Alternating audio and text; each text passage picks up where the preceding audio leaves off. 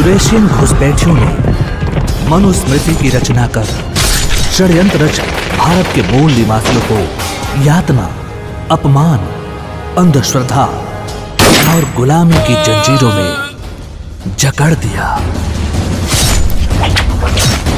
आज एक बार फिर मौजूदा भारतीय संविधान को दरकिनार करते हुए नए मनुस्मृति संविधान को भारतवर्ष पे लागू करने की साजिश चल रही है। धर्म शास्त्रों के अनुसार, तुम अछूत लोग सार्वजनिक मार्ग पर मात्र दोपहर के ही समय निकल सकते हो, और जो भी अछूत सुबह और शाम निकलने का दुस्साहस करेगा, उसे मृत्यु दंड दिया जाएगा।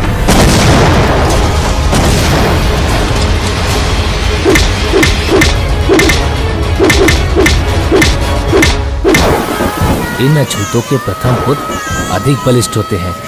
इसी कारणवश हम इन्हें मूर्ख बनाकर इनके प्रथम पुत्र का गंगा दान कराते आए हैं। अन्यथा, ये संतानें बड़ी होकर हमारी मनुवादी व्यवस्था के विरुद्ध विद्रोह कर सकती हैं। इस नीच ने मंत्रोच्चारण करने और सुनने का जो घोर पाप किया है, इसके लिए इसे निर्धारित दंड दिया जाए।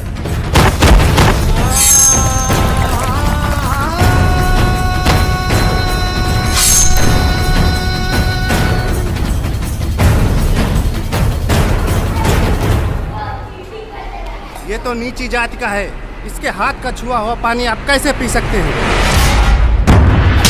वह धर्म और विधान जो एक को ऊंच और दूसरे को नीच बताए वह धर्म नहीं गुलाम बनाने का षड्यंत्र है। हम सभी ठोकर मार दे ऐसी निराधार काल्पनिक खोखली और पाखंडी कुप्रथाओं को।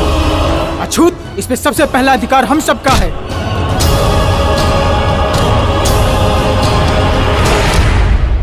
नमः शिवाय, ओम नमः शिवाय, ओम नमः शिवाय, ओम नमः शिवाय, ओम नमः शिवाय, ओम नमः शिवाय, ओम नमः शिवाय, ओम नमः शिवाय, ओम नमः अरे, कहाँ जा रही है? चल।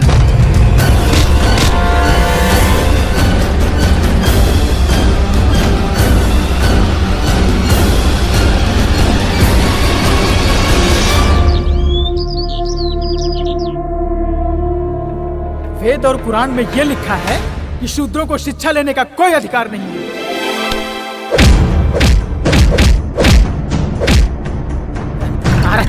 आरक्षण ले आरक्षण ले आरक्षण।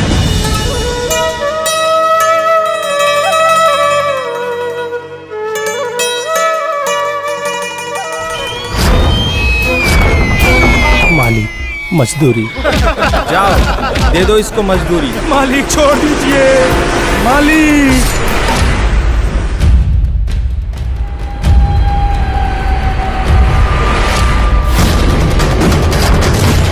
खोल दरवाज़ा। लटका दो सबको फांसी पर।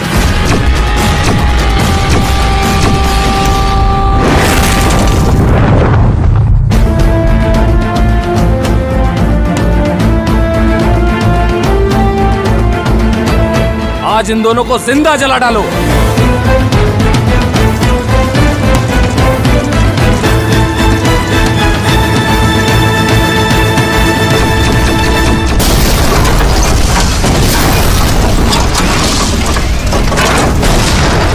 अमानवीय कृत्यों की प्रतीक। फूट पड़ी है चिंगारी, अब मनुवाद को जलना होगा। आज भी दलित उत्पीड़न की सैकड़ों घटनाएँ रोज़ाना हमारे देश में घट रही हैं।